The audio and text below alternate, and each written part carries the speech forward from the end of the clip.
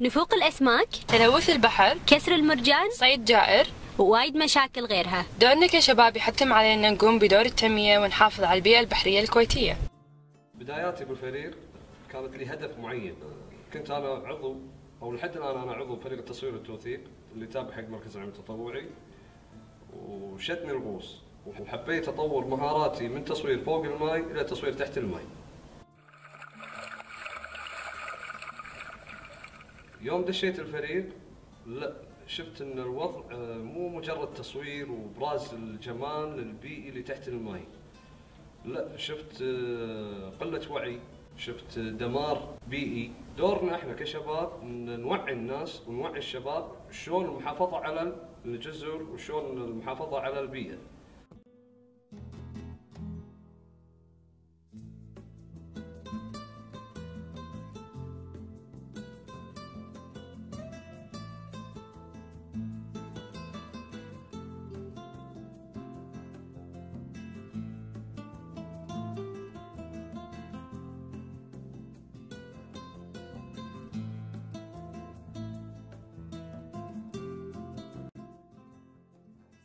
يوم دشيت وشفت هل نوعية هالمشاكل لا تطور عندي الهدف من مسألة تصوير لا لمسألة آه، إثراء الحياة البيئية.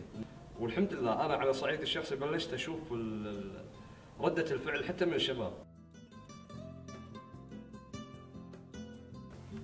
طبعا هذه البرشاتات اللي موجودة عندنا بالفريق تتكون من أحجام مختلفة. طبعا آه، طبيعة شغلها أن انتشال هي عملها أن انتشال الطراريد الطبعانة والمجسمات اللي ضارة بالبيئة أنها تحت الماء طبعا تجي لنا حالات من بعض الناس أو الرواد مثلا أن يصادفهم مشاكل بالبحر ولا طراد مثلا غرقان تحت الماء طبعا يدقون علينا مثلا طبعا إحنا من قبلها مثلا بنفس الوقت نجهز الأغراض والمعدات وكل شيء نفس ما أنتم شايفين.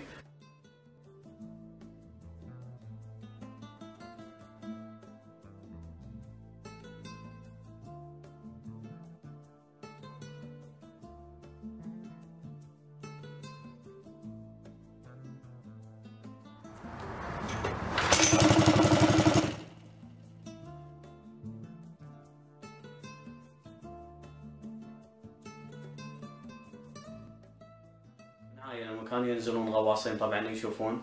طبعا ننزل الباراشوتات طبعا نقيس مثلا الكمية ولا الحجم اللي اللي يحتاجه على أساس إنه نرفع مثلا المجسم من تحت الماء طبعا من نفس ما أنتم شايفين عقب ما مثلا نطلع طراد من تحت الماء ومثلا ندفخه بالباراشوتات طبعا نفس ما أنتم شايفين المضخه اللي هي النزافة. عقب ما مثلا نستفيد منها بنفس الوقت لما نطلع مثلا المجسم من تحت الماء اللي هو طراد نفرغ الماء اللي فيه بالنزافة.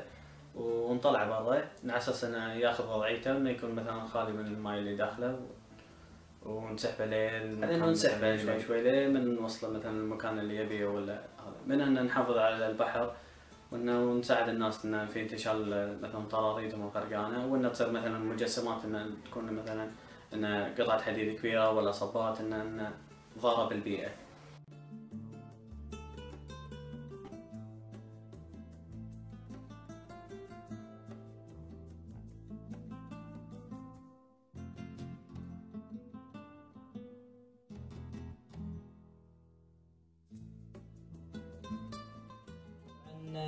أول ما غصت في البيئة في في بحر الكويت طبعا أنا شفت وايد آه، دمار سبب مرتادي الج- الجزر بالإضافة للغواصين.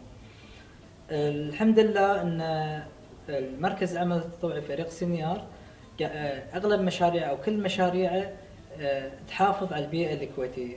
من ضمن المشاريع اللي أنا اشتغلت فيها البوية البحرية وهي تستخدم بدلا آه، عن المرساه أو الملمص أو السن. طبعا ذي المركب الجزيرة وحاب يبندر بدل ما يقط السن يكسر لنا ال- المرجان ويخرب البيئة الكويتية البحرية. عنده شيء بديل اللي هو اللي هي بوية البحرية. فيها حبل يقدر يبندر عن طريقها.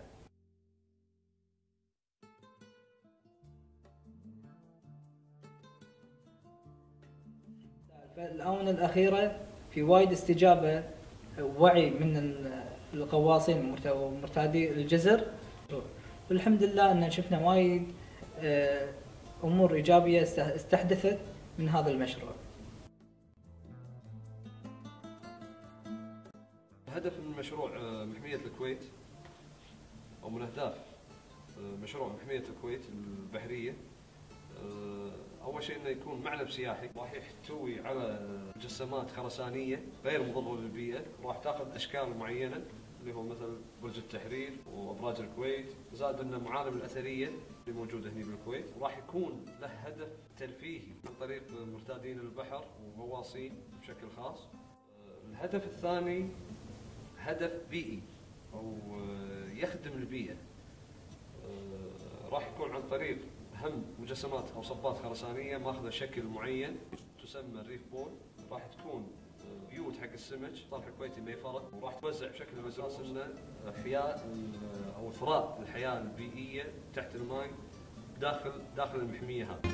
اشتغل حق الكويت. علشان الكويت. العمل هذا حق الكويت. نهدي إحنا قاعد نشتغل حق الكويت. حق الكويت.